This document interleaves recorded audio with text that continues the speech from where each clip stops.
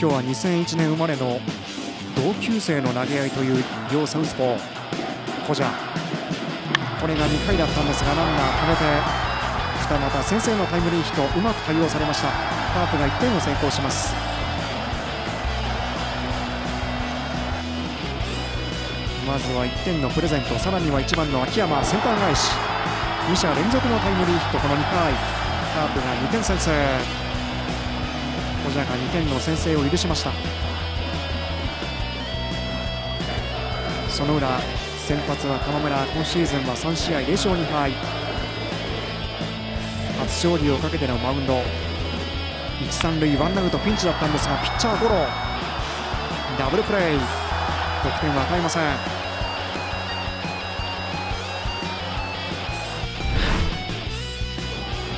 3回のイーグルスワンアウトからラストバッターの小深田。玉村からクリーンヒット。出塁します。ワンアウト一塁。その後ツーアウトランナーが二塁一塁。渥美詰まった。センター秋山。これでスリーアウトです。この回もチャンスを生かすことができませんでした。5回です。4回あたりからはかなり自分らしい投球に変わっていきました。この村林のナイスプレーもありました。味方の攻守に助けられながら小者アウトを重ねていきます。矢野からは三振。今日4つ目三者凡退という投球を見せます。後半の6回です。カープが一三塁チャンスを迎えて坂倉今日は2三振。センター返し3点目のタイムリーヒット。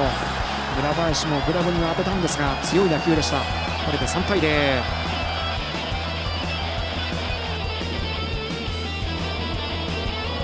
なおも三塁一塁。今度は堂林。これまたセンター方向。タイムリーヒット。この回2点目。カープが4対0とリードを広げます。小者は6回4失点で降板します。最後はショートゴロ。球数も100球を超えました。今日はマインフェイディーデー昨日に続いて満員御礼が出ました。終盤の7回です。先頭の浅村。右中間へ飛び込んでいきましたが末金ツーベース。長打が生まれます。その後渡辺義明センター返し。連打が生まれてチャンスを作りました。その後太田。まっすぐを捉えて左中間を破ります。2者生還。太田も三塁に向かいます。2点タイムリースリーベース。これで2点差。太田の三塁打は今シーズンこれが2本目。ここで玉村降板。後続に託します。ここからハーン連投。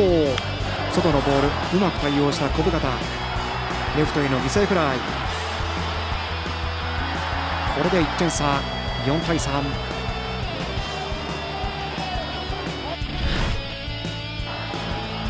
そして9回です。最後は連投栗林。小郷三振スリーアウト。今日も1点差。カープの玉村今シーズン初勝利をマーク。そしてカープは交流戦。1年ぶりの勝ち越しを決めています。